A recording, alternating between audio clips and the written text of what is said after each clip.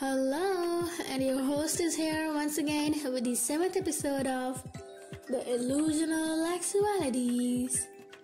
I really hope that I'm finding you with best of your health and spirits this time too. Today I have something really purely illusional and very much interesting too, which is the Ames Room illusion. So, first of all, let us know a little about the background and history of this illusion. So the Ames room illusion is a distorted room that works like an optical illusion likely influenced by the writings of Hermann Helmholtz.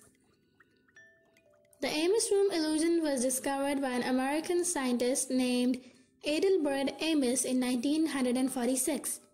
The room was too constructed by the same year for the experimental examination of his creative thought. Now, what is Ames room illusion basically? Ames room illusion is a type of optical illusion that makes the observer feel as if whatever is being shown is not true at all, as if there is some Photoshop done on the picture or is edited by an editor. Like this. Here you go. You would be thinking the same too, as if I have done some editing in the picture to make such an appearance while delivering it to you. But no, I have not done anything to the picture. It is the way it looks. Actually, the American scientist Adelbert Ames proposed a specific construction of a room, which make things look different in size in different corners of the room. Now, without dragging further, let us move to the special construction of the Ames room. So basically, the room is trapezium shaped. There are two trapeziums that are being used in the construction of this room. The two trapeziums are placed in two different axes, the x-axis and the y-axis. The two trapeziums, one of them laid along the x-axis and the other standing along y-axis, combine and give us the construction of Ames room. Now what happens in the Ames room? After we have constructed an Ames room, we have to make a hole in the middle of the front wall of the room which is straight, like this. Through the peephole, one can purely see the room purely rectangular shaped. It is because of the perceived wall present behind the two people standing at two different corners of the room, like this.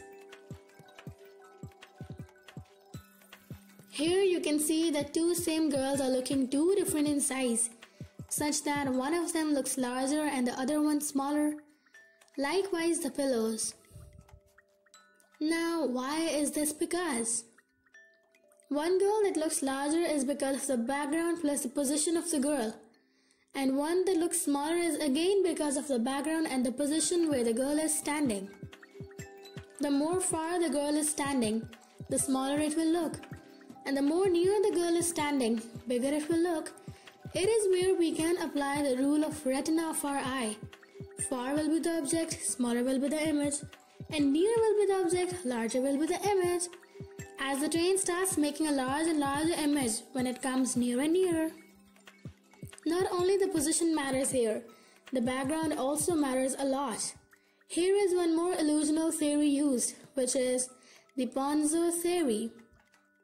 Ponzo theory was first demonstrated by Italian psychologist Mario Ponzo in 1911. He suggested that human mind judges an object's size based on its background.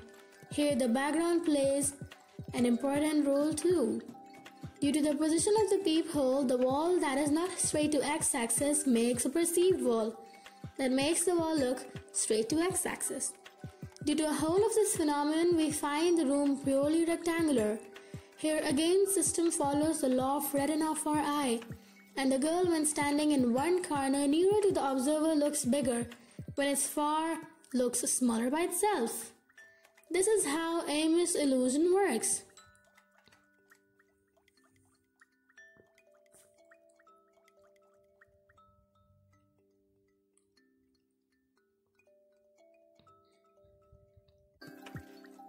I hope it will be interesting to know. Don't forget to like and subscribe. And do give your reviews in the comment section too. Thank you so much. Take care. Bye bye.